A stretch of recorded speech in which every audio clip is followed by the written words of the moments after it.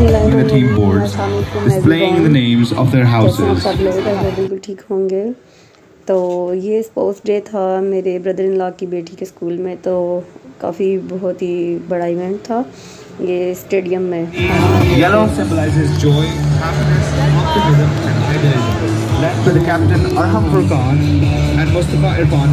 बच्चे ने बहुत माशा इंजॉय किया था।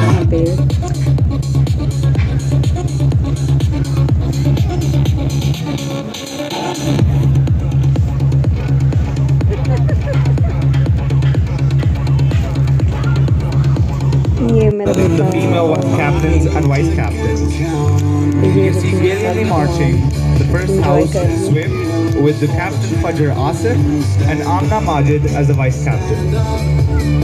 Right beside them we have the Eagles house with the captain Mira Musaddiq and vice captain Rabia Naeem. Stadium में था ये सब Cashew goes बहुत alongside. मज़ा आया चलें जी आज हम बनाएंगे ये बच्चों के लिए रेसिपी है खजूरें हैं और ये बादाम और ये अखरोट तो इन सब, ये है सफ़ेद तिल। तो इन सबको हमने ना ग्राइंड कर लेना है। खजूरों को मैंने ना गुठलियाँ निकाल के रख ली थी। तो ये बादाम और अखरोट जो है ना, इसमें आप अगर कुछ और भी डालना चाहें, पिस्ता, कोई भी ड्राई फ्रूट तो आप इसमें डाल सकते हैं। लेकिन मेरे बेटे को ये सब चीज़ें पसंद है, इसलिए मैंने ये डाली हैं। तो आप कुछ भी डालें, इनको हमने अच्छे से पेस्ट बना लेना है ग्राइंड कर लेना है। और इसके, ये बच्चों की हेल्थ के लिए आजकल जैसे सर्दियाँ हैं, वैसे बच्चे खजूरें नहीं खाते हैं और कुछ और जैसे ड्राई फ्रूट नहीं खाते तो इसको ये हमने मिक्सी में डाल के ये ग्राइंड कर लिया ये देखें कितना ज़बरदस्त सा पेस्ट बन गया। अगर आप ग्राइंड नहीं करना तो आप हाथों से भी ऐसे नाइफ से कर सकते हैं इसको। ये बहुत ही ज़बरदस्त सा ऐसे बन गया था। तो इसमें ना मैंने अब ये जो सफ़ेद तिल ना मेरे पास, ये सारे डाल लेने हैं।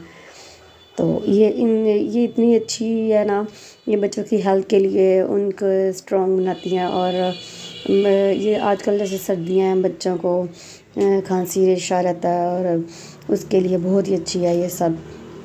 जैसे पिनियाँ हम बनाते हैं ना, अलसी की पिनियाँ और ये सब, वो भी बनाऊँगी इंशाल्लाह, वो भी उसकी भी रेसिपी आपको दूँगी।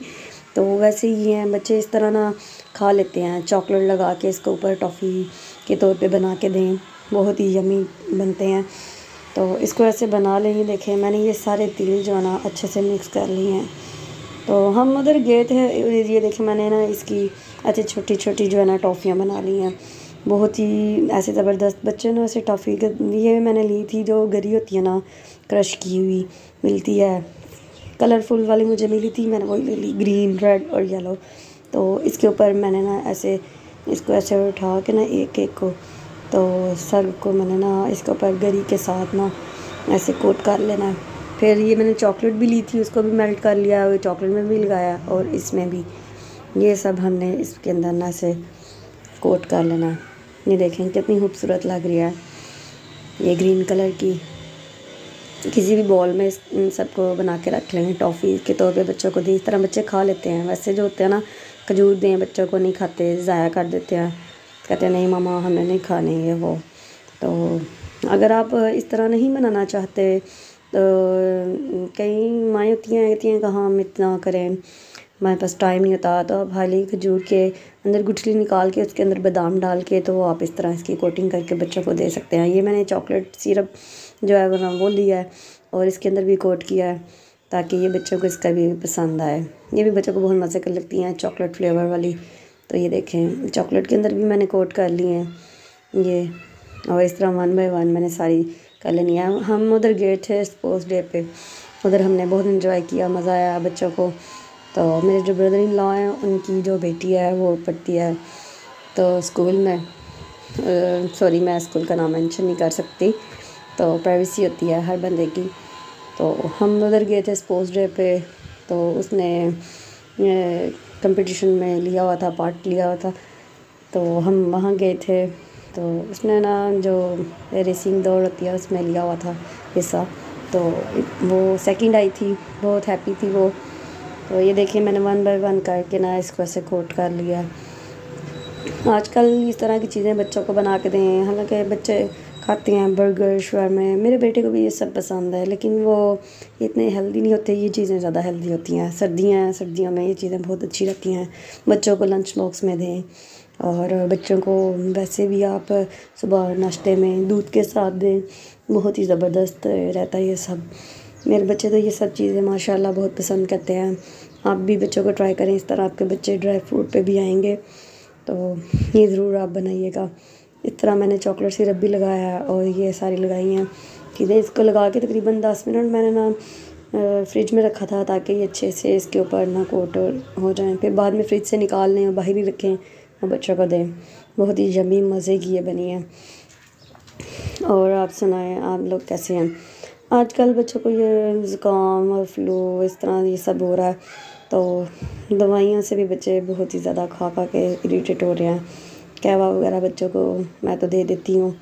आप बताएँ, आप लोग क्या देते हैं? तो मुझे प्लीज़ कमेंट करें। ये देखें हमारी ज़बरदस्त चॉकलेट डेट्स रेडी हैं खाने के लिए। बहुत ही मज़े की यमी यमी मुँह में पानी आ गया है, ये देखें। तो मैंने ट्राई की थी, बहुत ही मज़ा आया मुझे। तो मैंने आज आपको एक रिव्यू देना है इस गोल्डन पल का। ये देखें गोल्डन पल जो थी आजकल सर्दियाँ सर्दियों में हाथ ड्राई पाँव ख़राब, एड़ियाँ ख़राब, ये सब ख़राब। तो ये गोल्डन पल है लाइट ग्लो ये वैसे आप इसको सुबह के टाइम यूज़ करें। ये गोल्डन पल का फेशियल है। इससे बहुत ही अच्छा रिज़ल्ट आता है। ये आप ट्राई करें। ज़रूर इतने महँगे महँगे लेके आपने ट्राई करने हैं। वो भी करते रहें। ये भी अर्जेंट फेशियल जो है ना, इससे बहुत अच्छा रिज़ल्ट आता है। आप ज़रूर ट्राई करिएगा। ये गोल्डन पर आप रात को हाथ और पाँव पे लगाएँ। मैं, मैंने भी लगानी स्टार्ट की हैं। इससे ये होता है कि आपके हाथ पाँव जो होते हैं ना, सर्दियों में कलर ख़राब हो जाता है और वैसे भी ड्राई हो जाते हैं, उससे जो है ना ठीक रहते हैं। तो मैं ये हमेशा से यूज़ करती हूँ हाथों पाँव के लिए। तो आप भी नाइट क्रीम के तौर पे यूज़ करें। Thank you so much for watching my video please subscribe and like my channel